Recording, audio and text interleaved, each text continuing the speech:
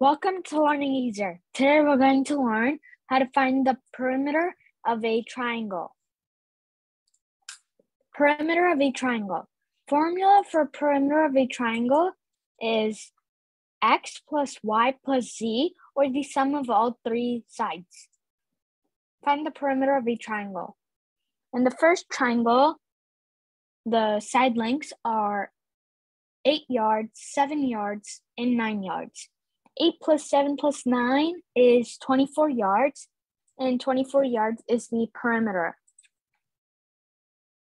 The second triangle, the side lengths are 4 feet, 6 feet, and 5 feet. 4 plus 6 plus 5 is 15 feet, which is the perimeter. The third triangle, the side lengths are 11 inches, 11 inches, and 12 inches. 11 plus 11 plus 12 is 34 inches. 34 inches is the perimeter. Find the perimeter of a triangle with sides 16 inches, 8 inches, and 8 inches. 16 plus 8 plus 8 is 32 inches, and 32 inches is the perimeter of this triangle. Find the perimeter of a triangle with sides 9 feet, 7 feet, and 6 feet. 9 plus 7 plus 6 is 22 feet. 22 feet is the perimeter of this triangle. Find the missing side of a triangle. Find the missing side of a triangle with perimeter 60 feet and sides 23 feet and 18 feet.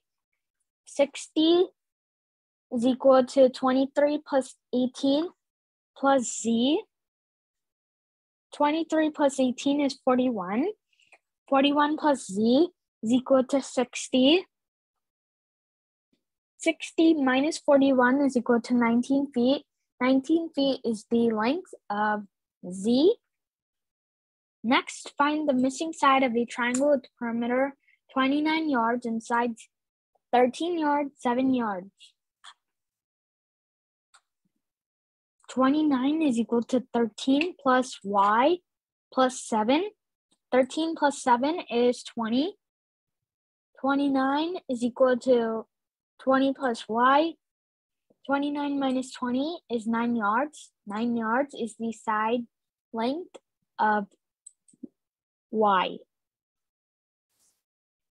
Thanks for watching. Like and share this video with your friends and family. Write your comments in the comment box below, subscribe, and click the bell button. Follow Learning Easier Instagram.